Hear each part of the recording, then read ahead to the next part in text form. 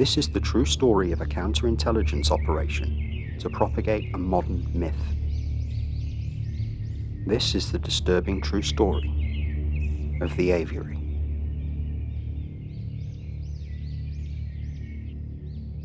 The subject of ufology is a convoluted, densely packed topic with multiple subjects all vying for their own peculiar brand of attention. It becomes almost impossible to penetrate and discern any semblance of reality from this subject. And this, as it turns out, is entirely the point.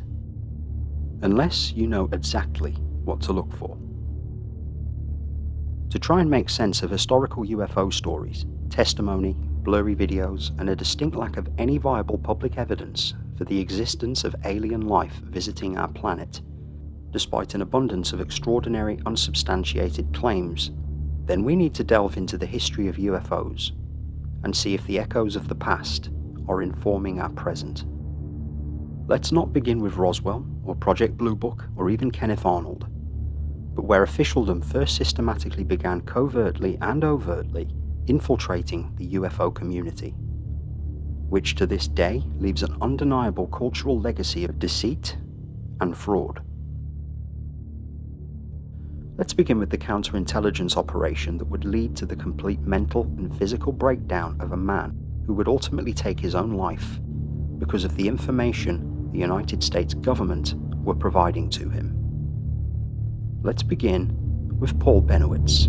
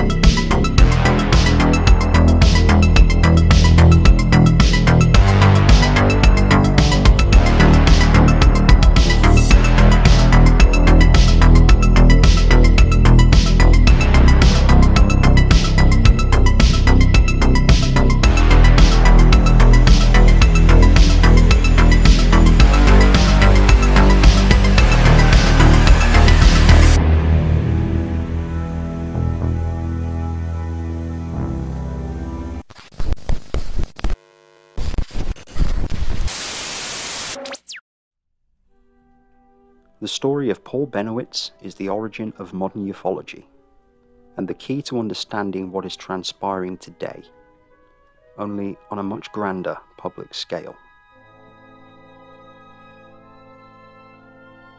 It began with audio engineer and electronic expert Paul Bennewitz in the late 1970s, who lived in the shadow of Kirtland Air Force Base in Albuquerque, New Mexico. Paul intercepted an odd signal emanating from the base and decided to confront Kirtland's military officials with his unusual data. This unlocked a sequence of events that would ultimately lead to Paul's demise. What began as a novel approach by the OSI unit located at Kirtland, which had recently been established in 1979, would become a legacy of tactical deceit. Paul Bennewitz, amongst others, would be used as a means of sowing disinformation directly into the UFO community and UFOs would be used as a cover for the aerospace industry, with the seemingly elusive stamp of officialdom convincing generations of a convenient lie by interweaving themselves directly into UFO lore. Heads and very oval-shaped eyes, uh, very narrow nose, uh, slit for a mouth, slits for ears, no hair on the head, uh, kind of a bulb-shaped head. It wouldn't require much effort because, as most people come to understand through their own experience, governments lie all the time for reasons that may never be officially revealed. And even if they are, the people involved in those operations are always long since gone, and accountability is no longer possible.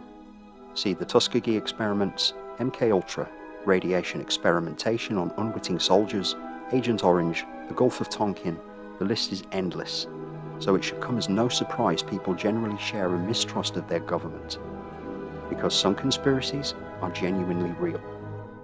The term conspiracy theorist was first coined by CIA operatives as a means of discrediting people involved in the public inquiry into JFK's assassination.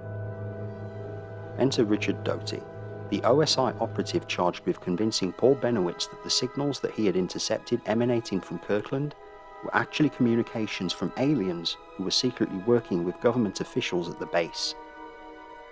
Doty would go on to provide an active member in the UFO community named Bill Moore, himself an avid ufologist and the co-author of the first book on Roswell called The Roswell Incident.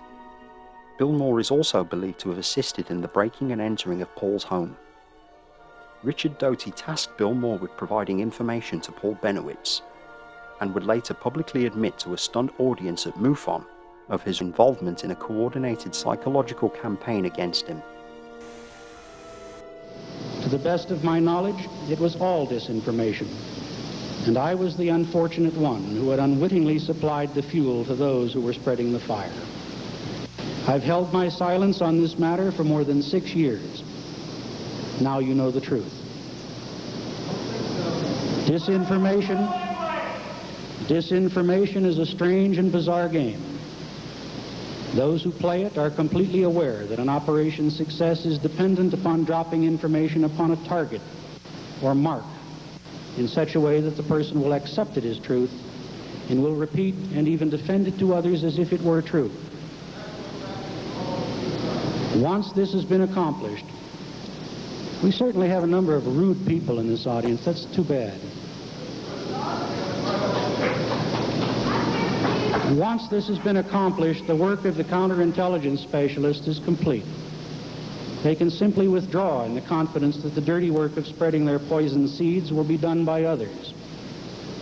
Those who want proof of how well the process works need only look around you.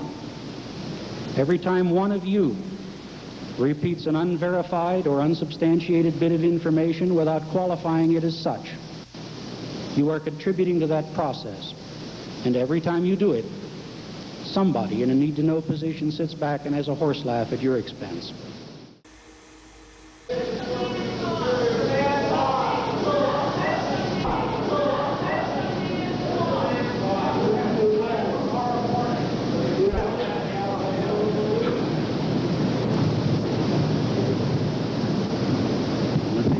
Frankly, I'm a little ashamed of some people in this audience, regardless of what you believe, what you hear, or not.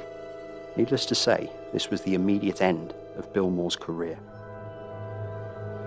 It turned out that what disturbed officials at Kirtland wasn't that Paul Bennewitz had uncovered a clandestine operation between humanity and an outside alien force, but the signals that Paul Bennewitz had intercepted were actually part of a highly sensitive project being conducted at Kirtland at the time. And this information was just too sensitive to be out in the open. Effectively, Paul Bennewitz was conducting an espionage campaign and spying on a government facility with advanced audio radio equipment that he had access to. During this period, Paul Bennewitz was monitored, provided with fraudulent documentation on Majestic 12, his computer was replaced by the government, and would spit out literal gibberish that he was told were secret readouts of distant communication between aliens and Kirtland Air Force Base. And he was even flown in a private plane in the middle of nowhere in Dulce, New Mexico, where he was informed an alien base was operating, complete with carefully laid props on the ground that he was encouraged to take pictures of as they flew over.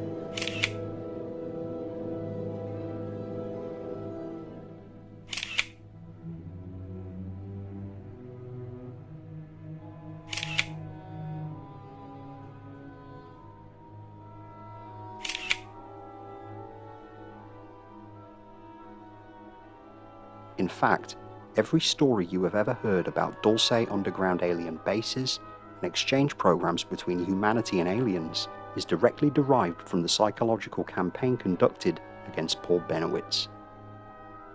Paul's mind began to unravel. He became noticeably paranoid and reclusive. He believed everything that was being fed to him, and why wouldn't he? He now believed that he was being brought into the fold of a secret operation, an operation which involved what may be the precursor to a full-scale alien invasion. And all of this information was coming directly, albeit covertly, from officials at Kirtland Air Force Base.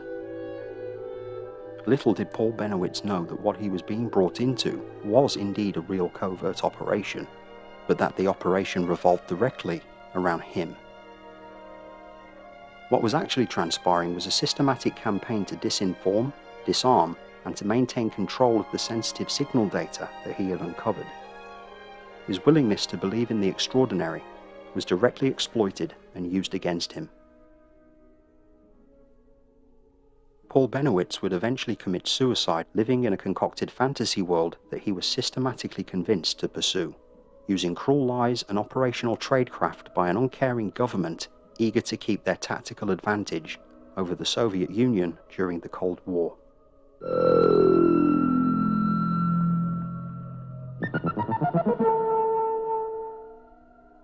This is the legacy of modern ufology, and the same people responsible for it are mingling throughout the UFO community to this day, spinning the same tired stories to convince new generations of the validity of the US government's involvement with alien technology.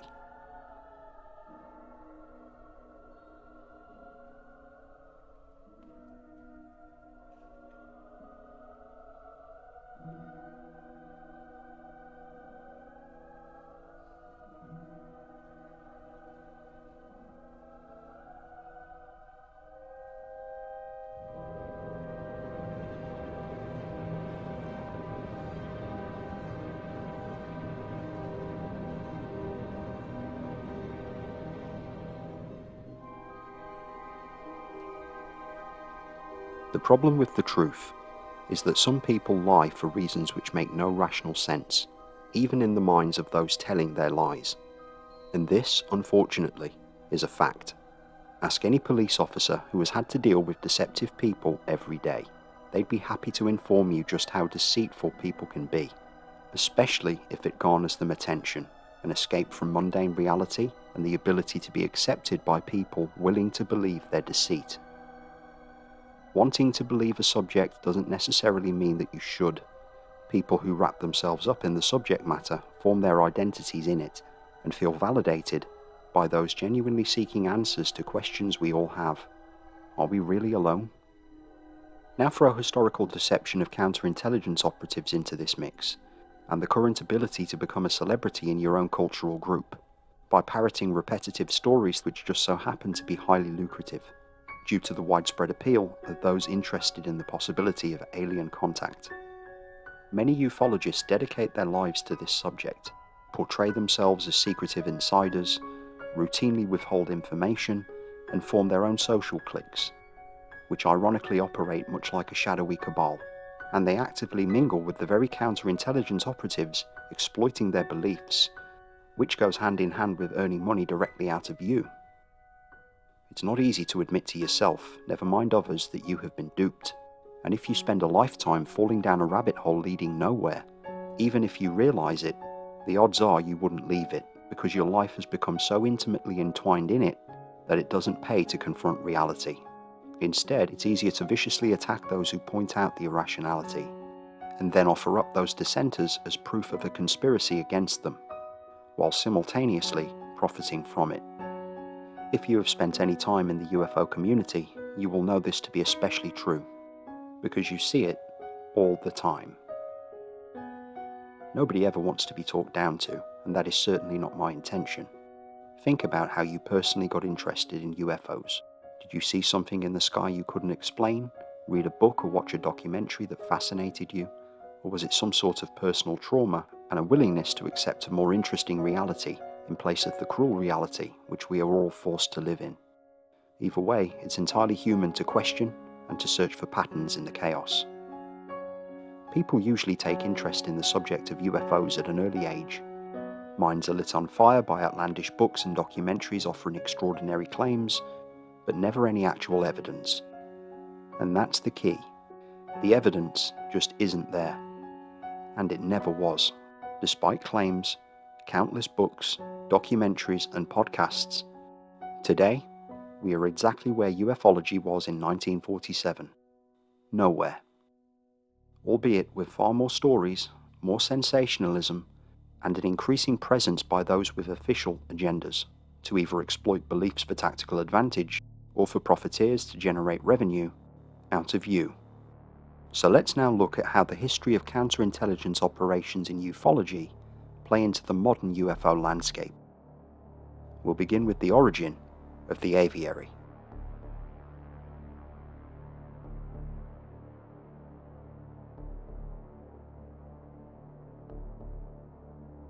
The use of UFO believers proliferating disinformation did not begin with Bill Moore or Paul Bennewitz.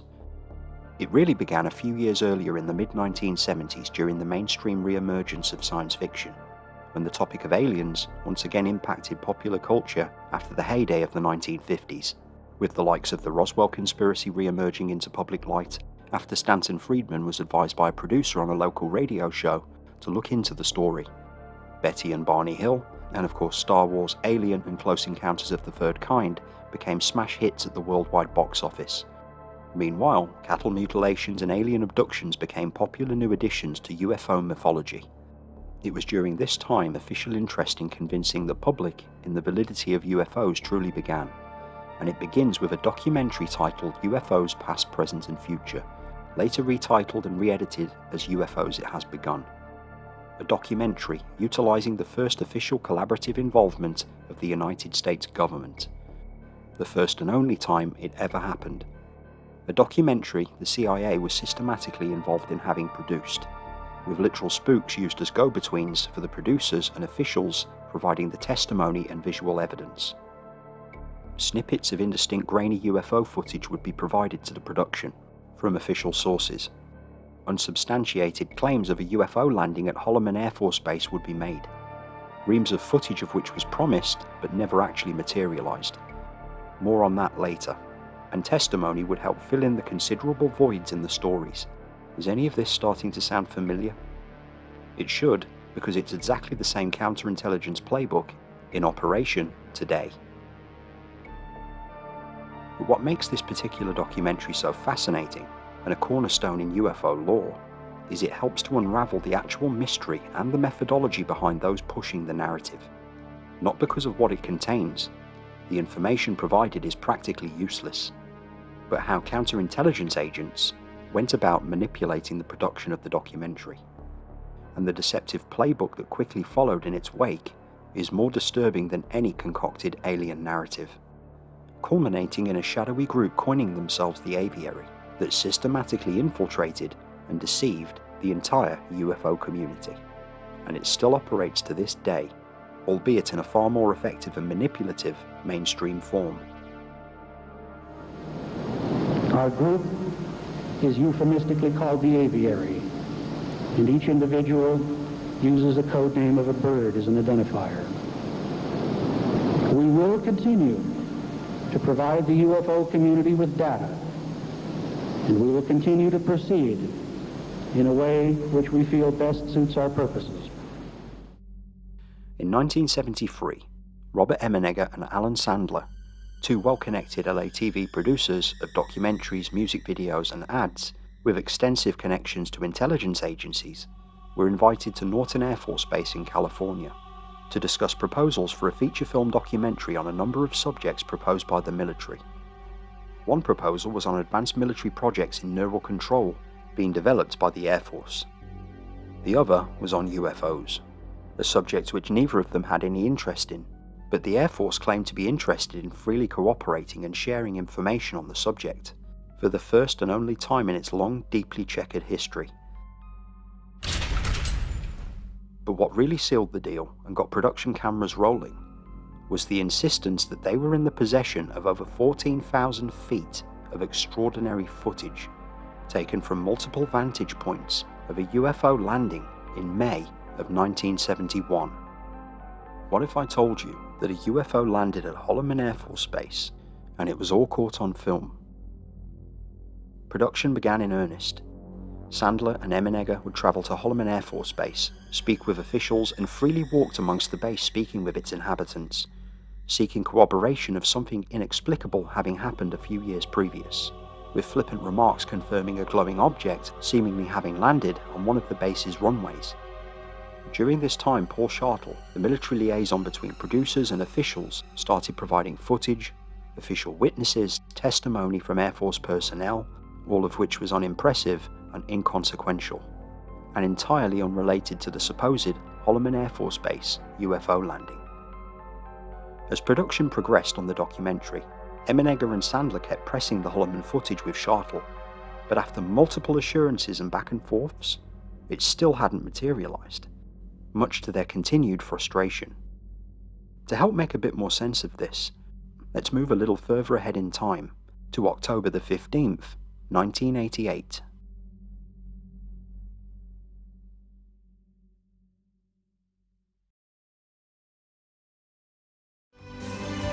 Next, two people who have survived a close encounter with a UFO but suffered dire consequences. Stay with us.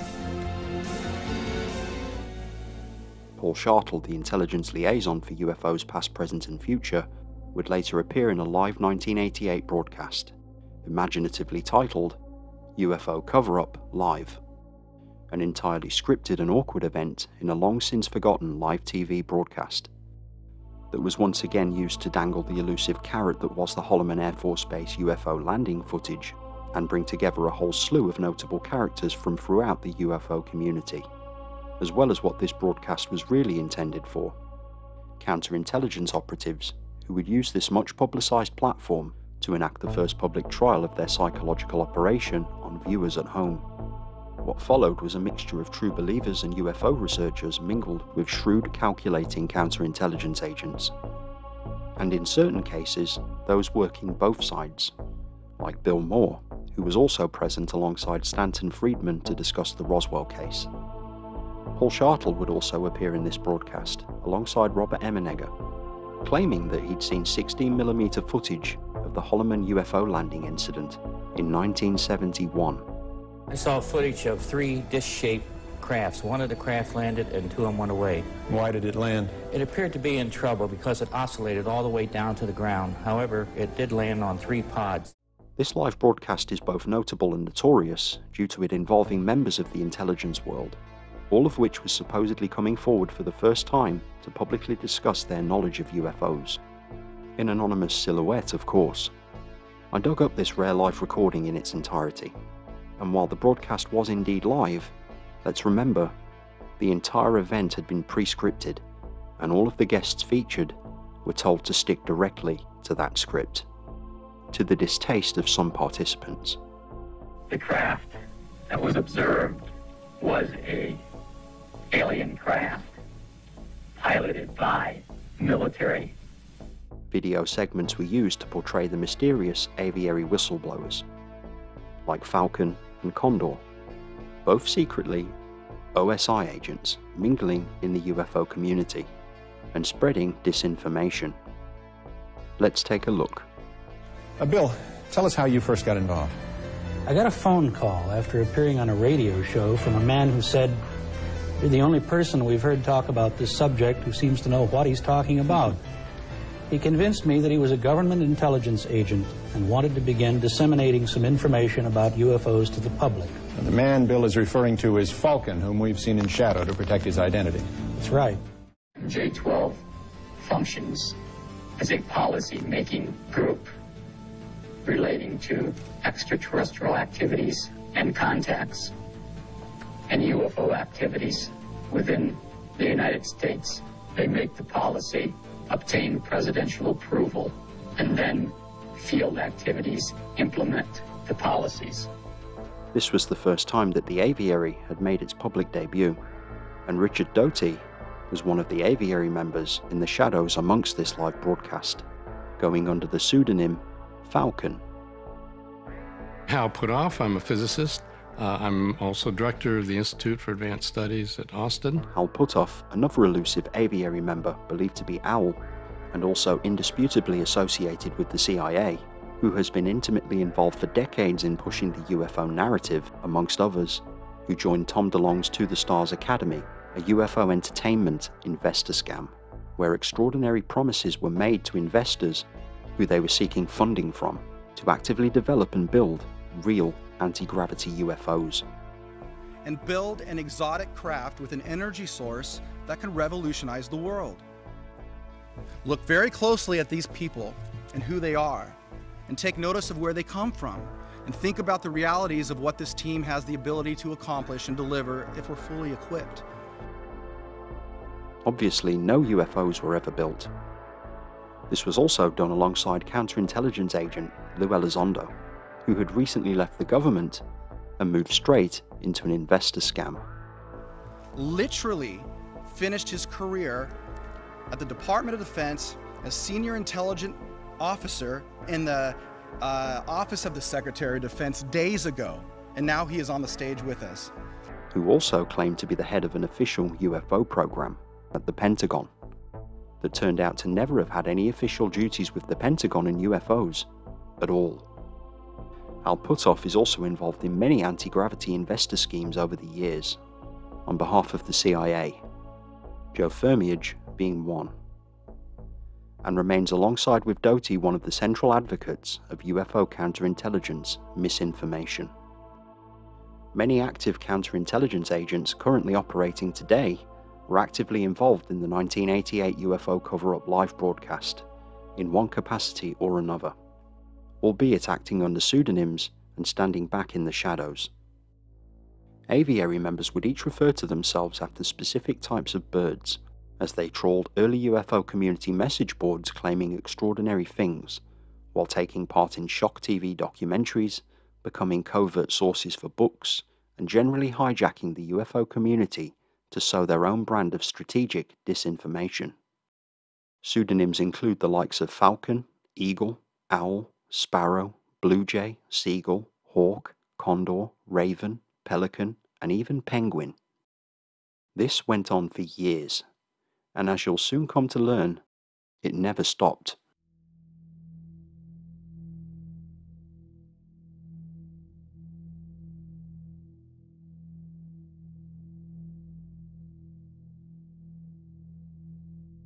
I was out on the West Coast and reviewing things with my old partner, and uh, we we he was much more open about allowing whoever to know a little bit behind the scenes. That's really what happened, and I I surmised it myself, but uh, you know I kept saying wasn't the Air Force. and Actually, it it was instigated by our friends with the three initials. Hmm. CIA. Mm-hmm. And they were they were see they were involved all along, and I just uh, should have put two and two and three together to come up with it, but because I remember meeting them, they were all always over, and then we helped them with other projects.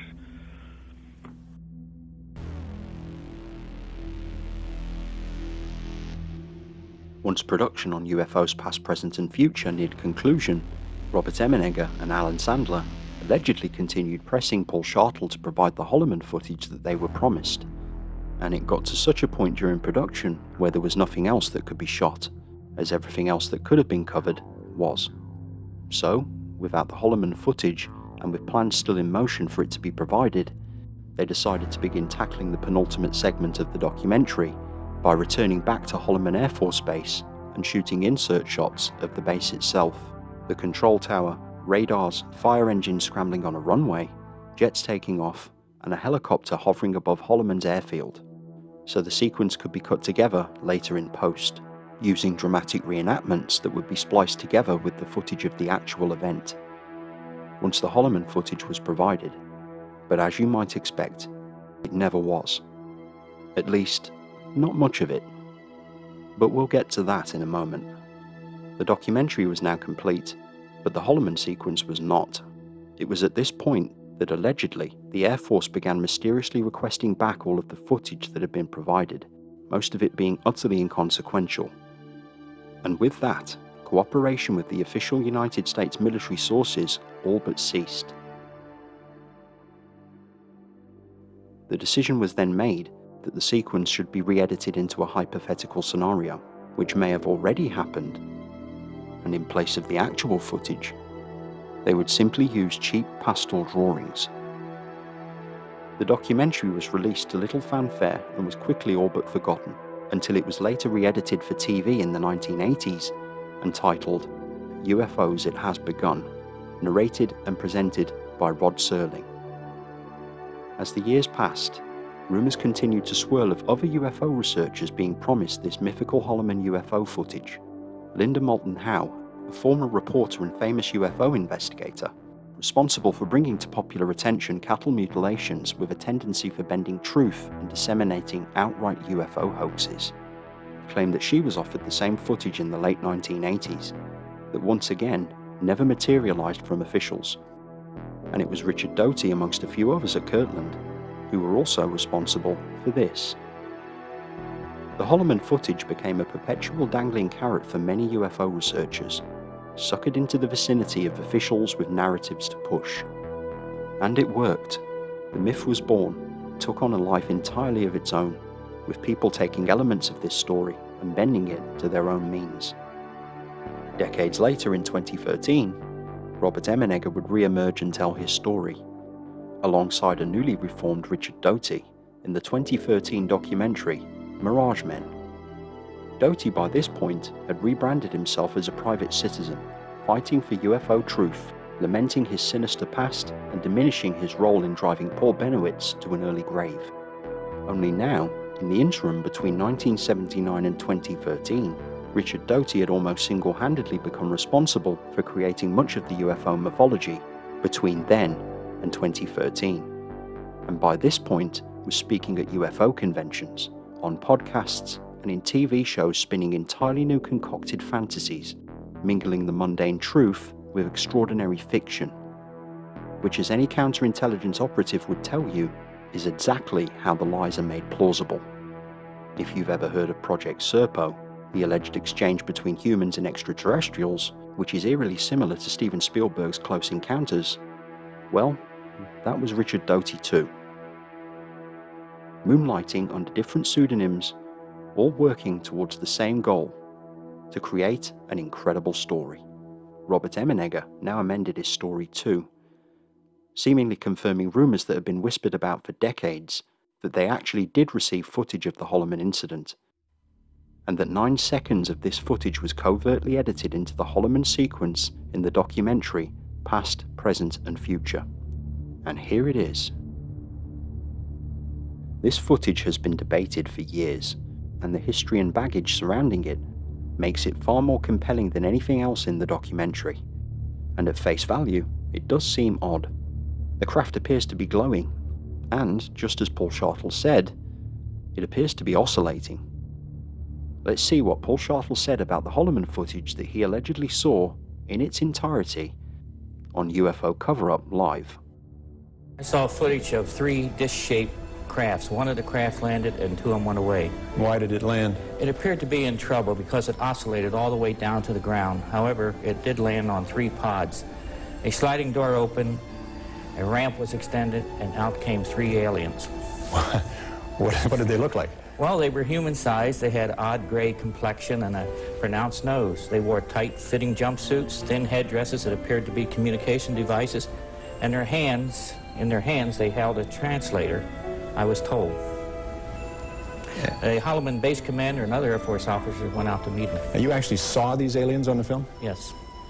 This film footage sounded very, very special, and we wanted to use it as the ending of our television special. And did you? Was it in your special?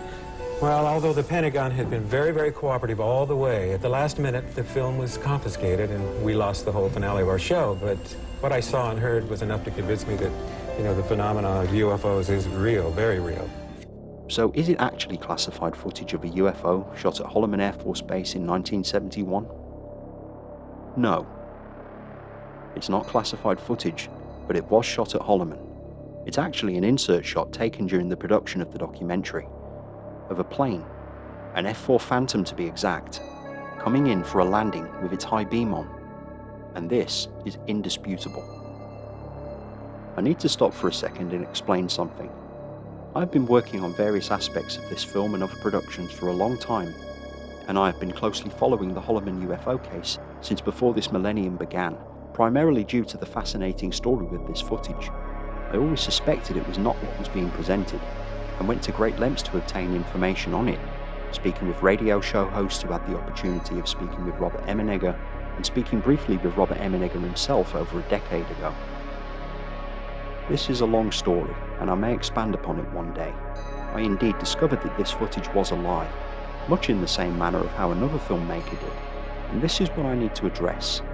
on the 22nd of May 2023, YouTube user Here Suddenly released a video that absolutely crushed me because it systematically laid out what I already knew that the Holloman footage was a lie, and that the reprinting of UFOs past, present, and future that was remastered from an original negative, and in this particular scan, that shot is revealed to be nothing more than a plane. And I kept this to myself, quietly working away for a long time, hoping to be able to present it when life permitted. But in a cruel twist of fate, it just wasn't meant to be. And here suddenly, a truly apt name deserves all the credit for being diligent and prompt in his presentation. I licked my wounds and quietly subscribed to him. Good work. The carefully constructed story of the Holloman UFO landing was an elaborate lie, and if this footage was a lie, then the people telling us that it was genuine footage coming from the government are also lying. And not only that, but so too are those who made the documentary and also made these claims. It's too bad we couldn't get that footage from the Air Force. The entire Holloman case is built on a lie, constructed entirely by people either directly involved with or closely associated with intelligence agencies. But this isn't entirely the end of the Holloman UFO landing story. There is another aspect to this story that isn't well known, regarding a Polaroid taken during a private screening of the Holloman footage in the late 1970s, which has been allegedly shown to a number of people interested in this case over the years. And this was even alluded to by Robert Emenegger in the finale of the documentary Mirage Men. It was a daylight shot of a light ascending on Holloman Air Force Base. And then with that little clip, that's all that I can tell you that was genuine. A landing of a craft at Holloman, it was film, very brief. That's all. You know, I can tell you it's genuine. And um, just to say on camera, you never saw the Holloman landing footage yourself? Not really. Oh, okay. Uh, can you elaborate? Uh, can we just wait for that car? Saved by the car. I'm, I'm trying to think how to answer that. I knew what the film was about, what it, uh, all the details of it, but I never saw a real projected version. You saw a still of it? Yes.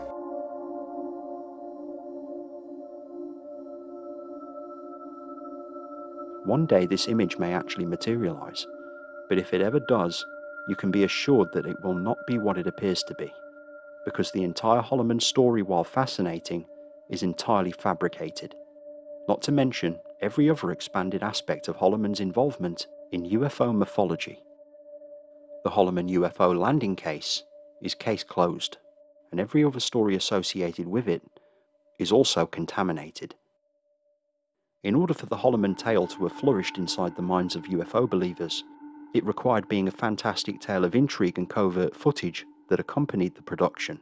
What was actually presented became second fiddle to what may have been, or perhaps one day could be, and this is the same playbook in operation today.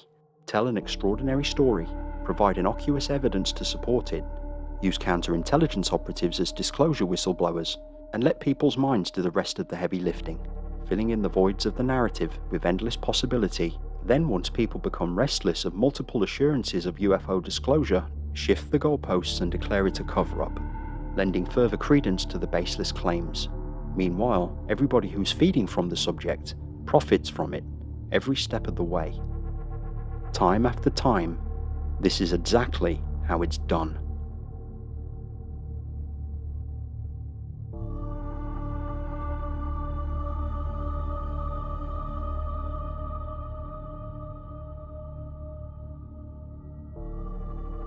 In the late 1980s, around the same time as UFO Cover Up Live, a man named Bob Lazar was quietly being courted by John Lear, the son of the man who invented the Learjet. Along with modern UFO guru and exaggerated storyteller George Knapp, Lear Knapp and Lazar would later take drunken excursions out to the perimeter of Groom Lake, where Lazar would show them operational test flights of supposed UFOs that he claimed to be working on in a secret reverse engineering program at a secret location known as S4 at Area 51.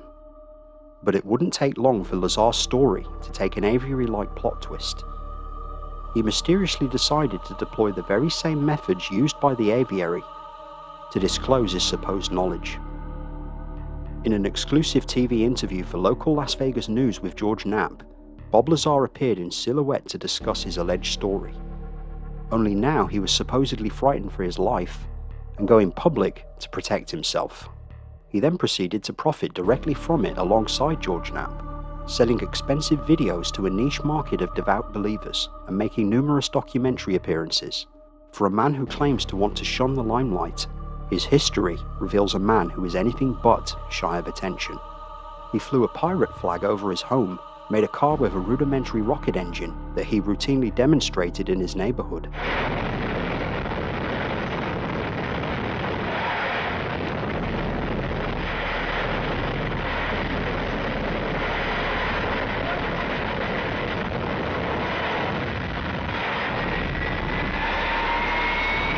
All of this came long before his reverse engineering UFO tales. His education is spotty at best. Despite the repeated claims, his story has significantly altered over the years. He is most assuredly an attention seeker, but avoids any and all public debate because his story simply cannot hold up to even mild scrutiny. The fact that he cannot validate the academics responsible for his supposed education at MIT is an issue. The year, what was the year of graduation? Probably Probably 82, because I think I left there. Went to Los Alamos? I went to Los Alamos. Is there some? Uh, you say your records at Caltech and MIT have somehow disappeared? In Los Alamos and probably everywhere else. Is there any way you can you could re reconstruct uh, your coursework and your professors? Oh, sure. I've got people that uh, you know that I went to school with, and you know, George has spoke, George Knapp has spoken to some of them, and you know, even flew with me up to Los Alamos and spoke to my colleagues there, and uh, you know, it's just. Could you could you reveal some of your professors at MIT and Caltech? Yeah, if you want. I don't have a list of them here. Dr. Duxler, I think, was one of them, and Hosefield was another.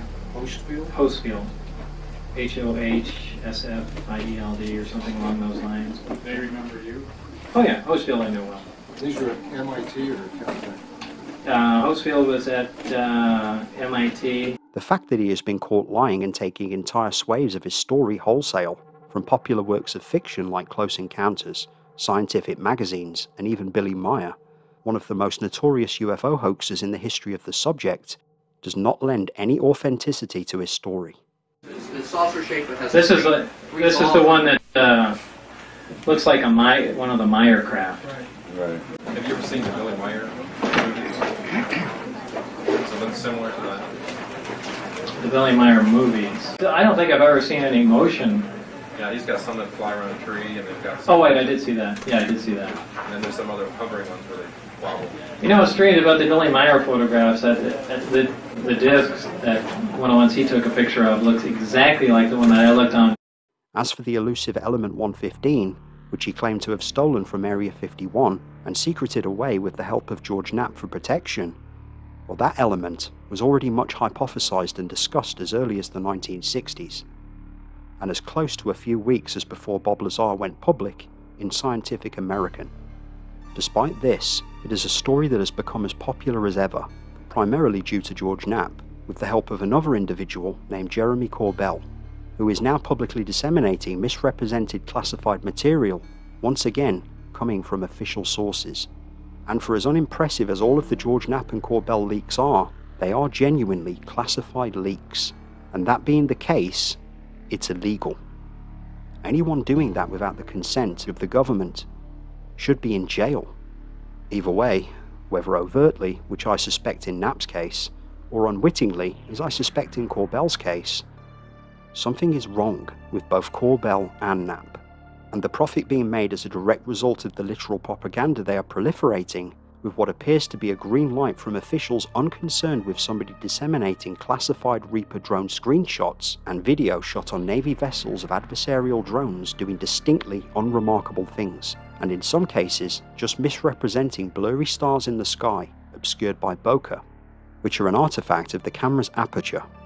To then claim that these objects are breaking the laws of physics, but which no physicist has ever confirmed to be the case, it doesn't take a brain surgeon to understand that things are not what they seem to be, especially when Jeremy Corbell, George Knapp, and Bob Lazar go out of their way to avoid public debate where they would be expected to answer difficult questions that they are fully aware cannot be answered if the story is to persist.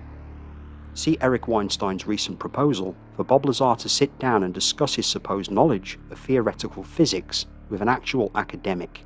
Wow, yeah, that kind of let that sink in a second. Corbell, Knapp, and Lazar himself have heavily profited from UFO documentaries, podcasts, t shirts, convention appearances, even UFO model kits. They routinely lie by omission, bend any truth worth bending, and ignore vital context to sensationalize their profitable tales. They claim to seek truth, but if you tried to sit them down in a room with an actual academic on what is currently the single most popular show on Earth, at the request of Joe Rogan himself, then their MO changes from publicly commenting on any and all UFO related topics in virtual real time to mysteriously vanishing from the public sphere altogether. Until the coast is clear, then they re emerge with even more stories, perhaps another classified leak or a misrepresented balloon, missile flying over a war zone in Iraq, or flares dropped over a military base in California. You get the point. Something is wrong. And if you're unable to recognize it, it's not because you're stupid, it's probably because you have no knowledge of the deceptive history of this subject. Good afternoon. A photo has surfaced that a lot of people are claiming is proof that the Roswell UFO incident was real. It's a picture of an alien type creature, and they claim it was taken in 1947 in Roswell. Richard Dolan, a man who promotes himself as the bastion of respectable so called ufology, but in reality has made it his livelihood and ensnared himself in profitable hoaxes, like Jaime Maussan's infamous Roswell Slides event, which turned out to be nothing more than a museum exhibit. Richard Dolan also publicly claimed that he knew what was in the classified UFO briefings, but once that information was released, it turned out that the information he was providing wasn't accurate at all. Time after time, we see people portray themselves as knowledgeable insiders, but it always turns out that their actual knowledge leaves much to be desired. Steven Greer a man who brought together a number of UFO officials from all walks of life discussing their encounters with UFOs in the Disclosure Project, but in reality, a literal huckster, responsible for disseminating hoax documentation, courting officials with lies, claiming to have debriefed every president and CIA director in the last 20 plus years on the topic of UFOs, with no records or evidence of any of these alleged briefings ever having taken place, who has also attached himself to numerous profitable hoaxes boldly proclaiming to have the body of an extraterrestrial, and promoted as such to sell his awful documentary Sirius, which was later proven to be a mummified ancient fetus, who also operates an ongoing business involving private alien contact, where people pay thousands of dollars to go out into the desert or stand on a secluded beach and meditate as someone drops flares out of a private plane on the horizon. Edgar Mitchell, the sixth man on the moon, was undoubtedly courted by counterintelligence agents on the UFO topic, and died a believer due to what he was being told behind the scenes. It turns out by dubious people who have almost certainly already been referenced or soon will be in this very video. The now infamous Admiral Wilson document came from Edgar Mitchell's estate after his death, touted as the UFO leak of the century by Richard Dolan, but refuted adamantly by Admiral Wilson himself as complete lies both publicly and to Richard Dolan personally.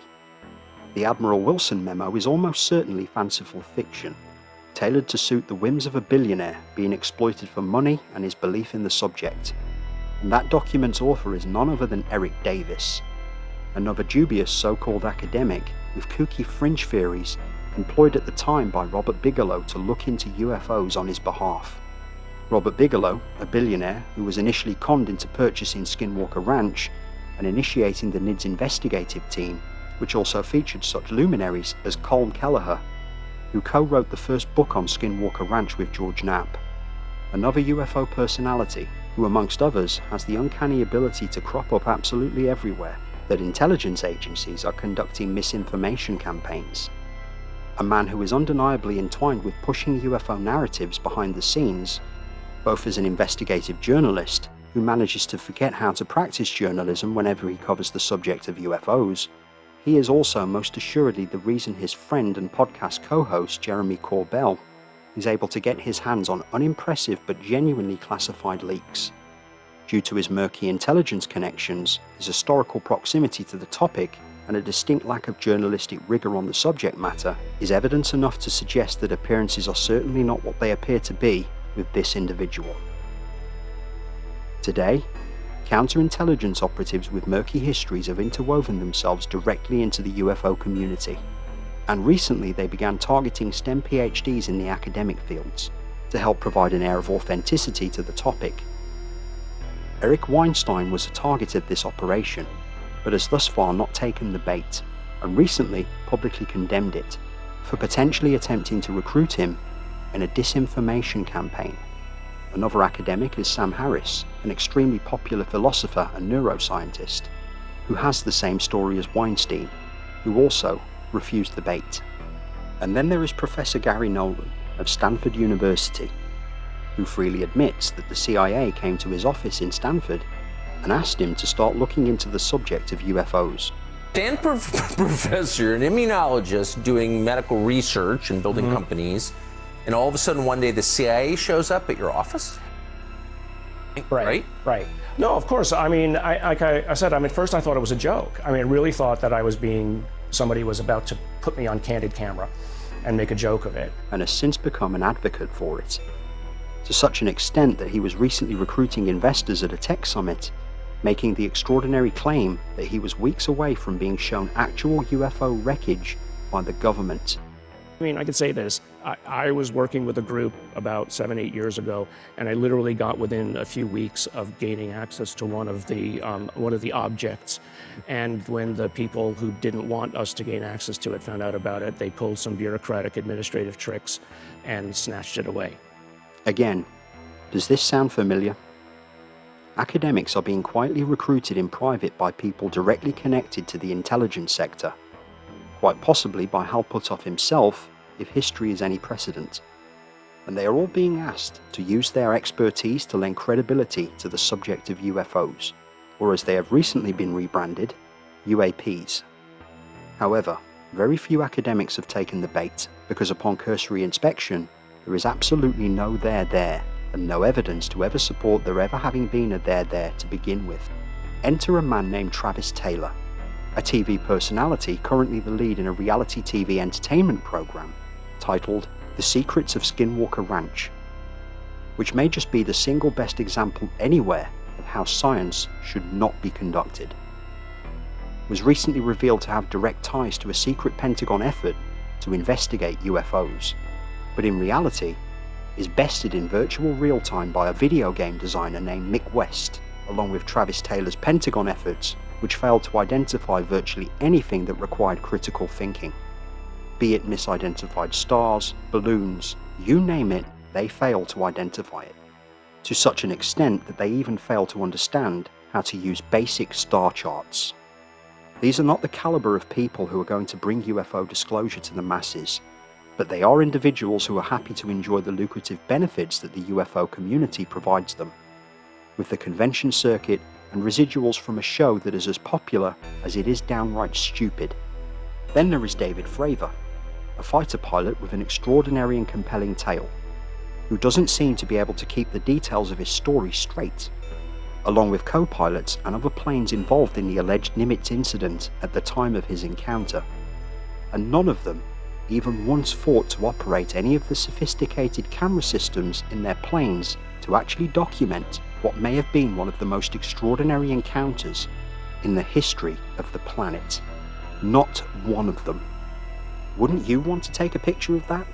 Does nobody believe that it wouldn't have been protocol to take visual evidence of this encounter? It's a compelling story, but it doesn't make any sense.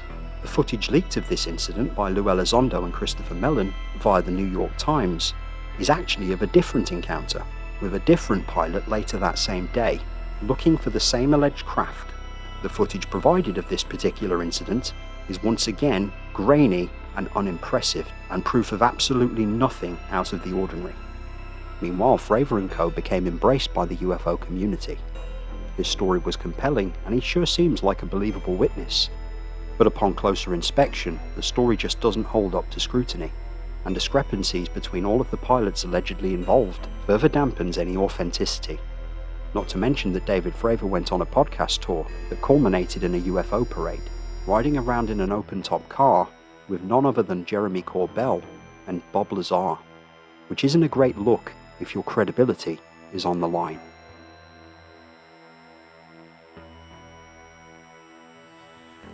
My name is Lou Elizondo, and as a career intelligence officer, I am accustomed to being involved in close hold, nuanced programs involving national security. Lou Elizondo, another counterintelligence operative who loves to do the podcast circuit.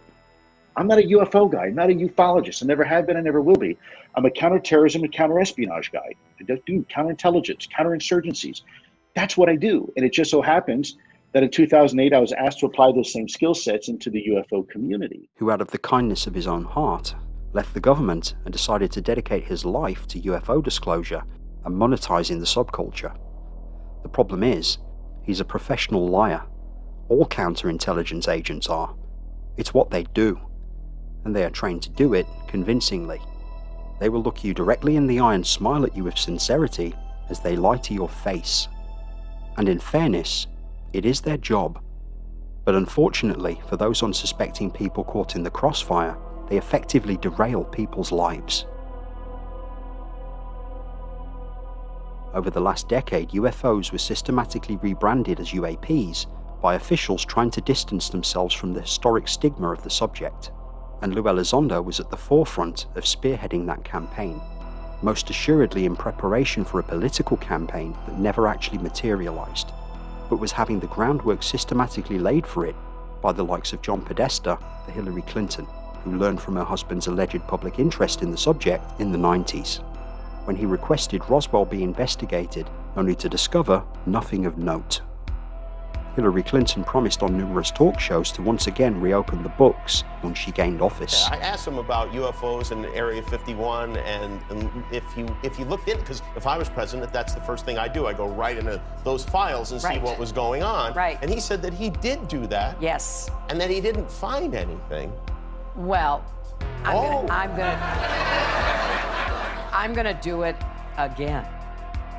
only for it to end as predictably as you may expect, with quiet whispers of discontent from intel agencies, poised to capitalize on it as a springboard for a new campaign of political distraction. This is most likely why in 2017, during a hostile administration to the intelligence sector, they took the narrative into their own hands, which really reached its zenith during the pandemic in 2020, when imprisoned eyes around the world during lockdown with nothing better to do were inundated from officials and dubious journalists all promising UFO disclosure that never came to pass, but was nothing more than a highly convenient and welcome distraction from the horrors that most people were facing during that period. Christopher Mellon, another official with deep historical connections to the intelligence world, who along with Lou Elizondo helped leak the three nondescript grainy UFO videos disseminated via the New York Times' Leslie Kean, another dubious UFO advocate masquerading as a journalist. These videos have been prominently featured in practically every news article and UFO documentary since, including this one, and they are themselves deeply controversial. Once again, it's not the videos themselves that are compelling, but the stories that accompany them. But the problem is, it's no longer 1973, and grainy UFO videos that are cut short to obscure whatever it is that's actually being misrepresented simply aren't good enough. John B. Alexander, reportedly one of the aviary's lead instigators, codenamed Penguin, a man so enshrouded in the paranormal at official capacity that he was immortalized in the 2009 film The Men Who Stare at Goats, based on the book of the same name by Jon Ronson, chronicling the government's kooky experiments trying to create MK Ultra-like psychic mind assassins. John Alexander, along with other counterintelligence operatives like Richard Doty, Hal Puthoff, Lou Elizondo, and Christopher Mellon, took control of the UFO topic and began contacting researchers spreading fictional tales of UFOs and alien contact. Alexander appears in countless UFO documentaries and is not shy about his alleged interest in the paranormal. His proximity to all of the deception and cornerstones of UFO mythology, which they themselves created, along with Doty and Puthoff, is truly on a staggering industrial scale.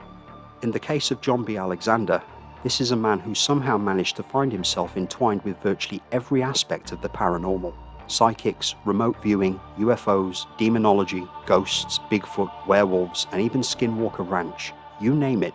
If it's weird, he's already been there and helped shape the narrative before you even heard about it. And Alexander, along with the rest of the so called aviary, we're all doing this at the taxpayer's expense. There is an indisputable pattern, and it involves teasing the public with fantastic tales, innocuous evidence, and using the interest to generate official funding via taxpayers or alternatively, to siphon private profit out of the sheer interest that the public has in topics which fascinate on a human level.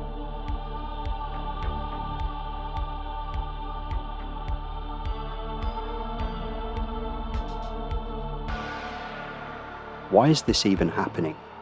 The answer to this is probably very simple. It deflects attention from domestic defence network inadequacies, shields the military and private aerospace sectors, sows discord and disorientates adversaries. And it's also lucrative. Very lucrative. There is no downside, except for having to proliferate extraordinary lies, and those who do so are held upon pedestals and promoted as heroes, even if their personal behaviour, in the specific case of Lou Elizondo, shows anything but heroic efforts. In his specific case, he's been caught lying and using alternate social media accounts to intimidate and harass people who threaten his narrative, and actively attempted character assassinations of those asking valid questions of his extraordinary claims. The best form of defence is attack, especially those asking pertinent questions. Again, this is straight out of the aviary playbook, which is actually counterintelligence training that taxpayers funded through the government promoting the belief in UFOs also helped shape popular culture, to such an extent that when somebody sees something that operates in the sky that they can't immediately identify, they don't think of it as classified Lockheed Martin projects. Most people just see a UFO. Classified black projects operate for decades in total secrecy. The stealth bomber was also at one point classified and was responsible for untold amounts of UFO sightings, and it was operational and in active duty in the early 1970s but only officially disclosed in 1990. Coincidentally, in the same time frame that Bob Lazar and the aviary were making all kinds of extraordinary claims throughout UFO culture, changing the landscape into a more approximate resemblance of what it appears as today. For anyone who lived during the 1990s and had an interest in UFOs, then you'll understand just how popular it became. The X Files quickly followed Bob Lazar's stories, Independence Day released a few years later, along with Fire in the Sky and Men in Black, derived from another popular UFO myth, soon followed those. If you lived in the 1990s, you couldn't turn on a TV without seeing sensational documentaries on the topic. The alien autopsy hoax was born of this period. So too was the mythical Chuck Clark UFO tape, alleged to be the greatest UFO video ever filmed. Never to be screened publicly, but that may probably change in the coming years due to the unethical behaviour of both Logan Paul and James Fox. This too was almost certainly another hoax which was intended to become a cultural phenomenon during that period, but was instead hoarded away by Clark himself for reasons which only he understands. Chuck Clark was a former resident of Rachel, Nevada.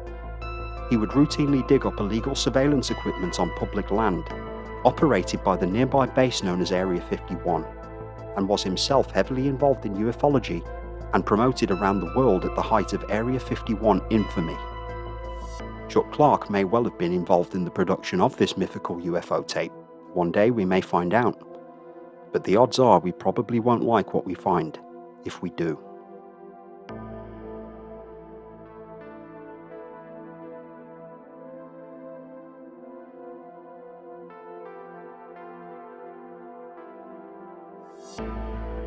Imagine for a second a hypothetical legacy program, but not an official program to reverse engineer UFOs and keep them a closely guarded secret, but instead an informal patriotic legacy program for people in different aspects of the military, intelligence agencies, and the aerospace sector. To continue to serve their country by systematically weaving lies into the counterculture, to maintain strategic tactical advantage over adversaries, and to have fun and to earn a lot of money in the process. My name is Boyd Bushman. I'm a senior scientist from Lockheed Martin. Bizarre deathbed confessions of aliens and UFOs from officials intimately involved with the likes of Lockheed Martin and the aerospace sector, that are later proven to be outright lies, start to make far more sense when you think about it from a tactical vantage point of a counterintelligence operative. This isn't just being done to confuse you, but to confuse their counterparts in adversarial nations. Now, to be clear, this isn't a proclamation that every prominent UFO advocate is a counterintelligence agent. No.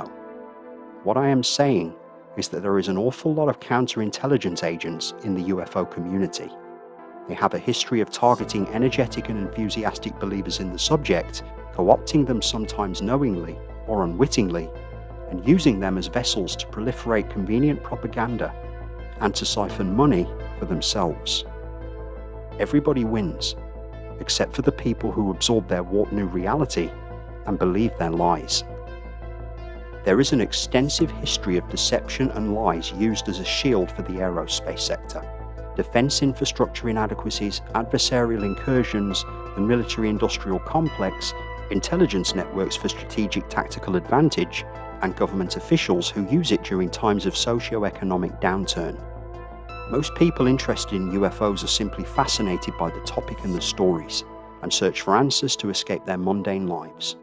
But the problem is that fiction is being presented as a fact, and many people derail their lives pursuing it, and some break with reality entirely. Even if they're not being purposely pushed to breaking point by their own government like Paul Bennewitz, the end result is exactly the same. Now, this doesn't mean that you shouldn't be fascinated by the topic. Its very premise speaks to many people on a primordial level. You should be free to believe whatever you wish, and not be mocked for being interested in it but you should demand evidence of extraordinary claims, and again understand that people lie for reasons that make no rational sense. People enjoy attention, and especially those who claim they don't want any. People like to feel special, finding meaning and companionship in their lives, and dedicate themselves to something they see as far bigger than themselves. And these are the very human traits used to exploit us. Today, those most closely associated with intelligence operatives are those most popular for propagating UFO narratives in the mainstream. They have access to anonymous whistleblowers, which always turn out to be counterintelligence operatives pushing low level classified intelligence, and they are all undeniably interconnected through historical proximity, and are always present during key events in UFO mythology. This just isn't possible by chance. We have spacecraft from another species. We do, yeah.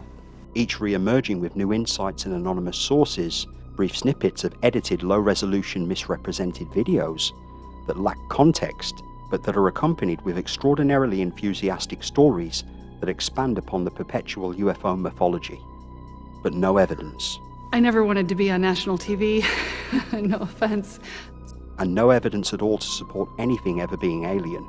Neither is there any evidence of any data whatsoever supporting any craft actually defying the laws of physics. The convenient rebranding of UFOs to UAP in official terminology was simply to disassociate from the murky historic stigma of the subject. If you want evidence, there is all the evidence in the world to support key mythology in the UFO subject being an ongoing partially orchestrated historical counterintelligence operation to propagate convenient mythology and lay cover for any number of agencies and official sectors for any number of reasons. What began with the Holloman UFO landing footage and Paul Bennewitz in the 1970s slowly evolved over the decades into a broader public operation in a warped bubble of reality, even seemingly blindsiding officials from the establishment with its newfound urgency for public funding. President Obama says that there is footage and uh, records of objects in the skies, these unidentified aerial phenomenon, And he says we don't know exactly what they are. What do you think that it is? I would ask him again. Thank you.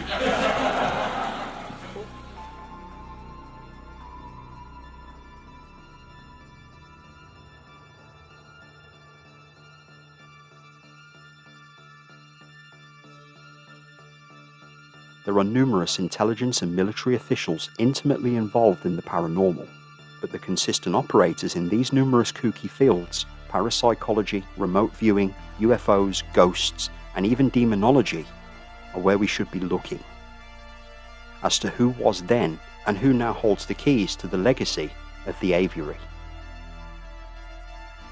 John Alexander, Hal Puthoff, Richard Doty are consistent in their respective operations, but these agents became, if only inadvertently, an offbeat public face to various cornerstones of fabricated paranormal mythology.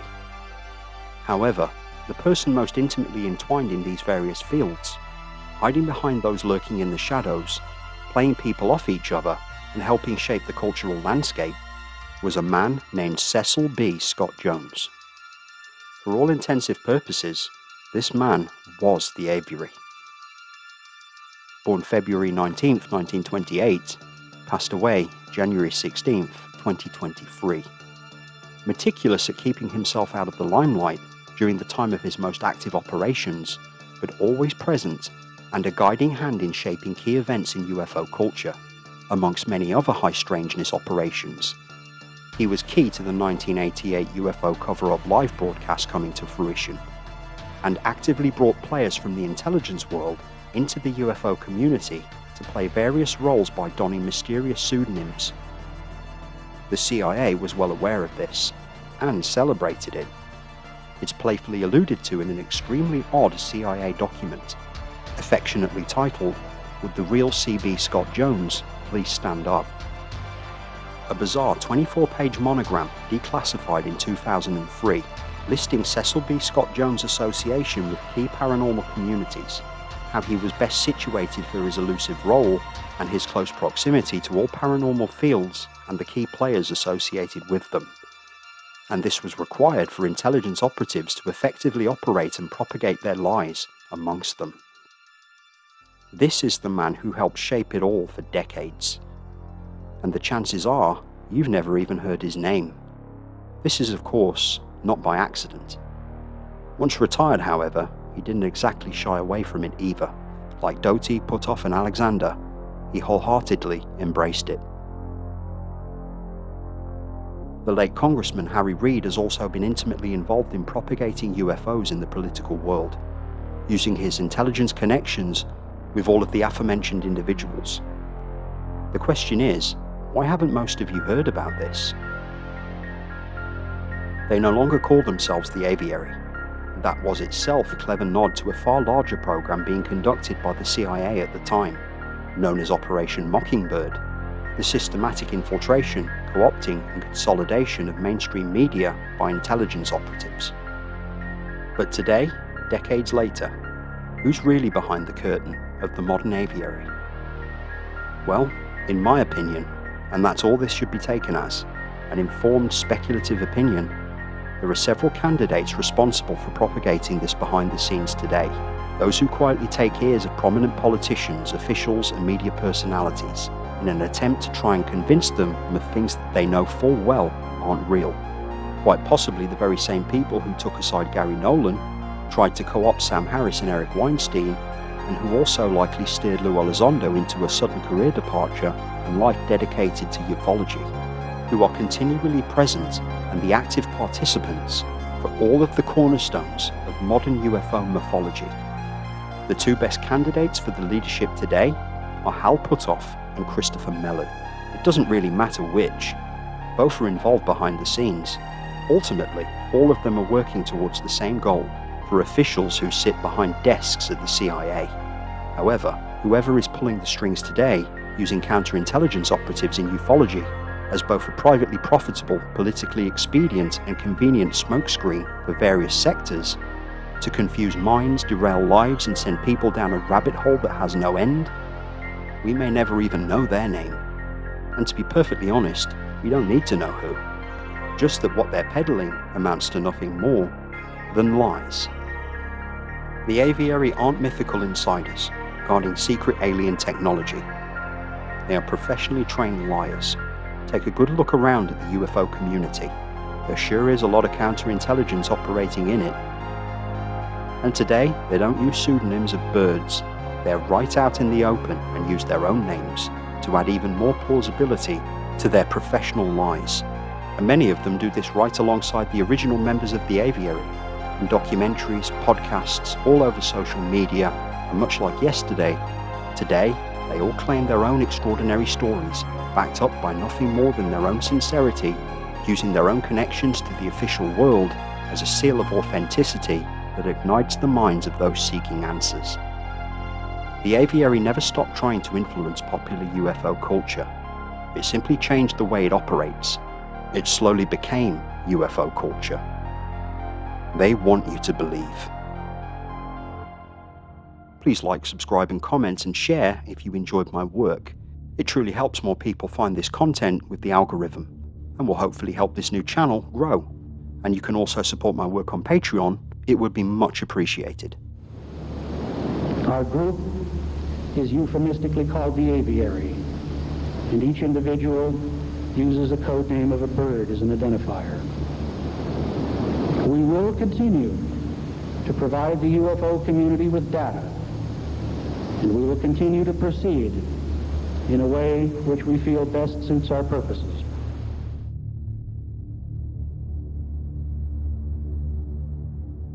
If you thought UFOs were weird, just wait until you see what's coming next.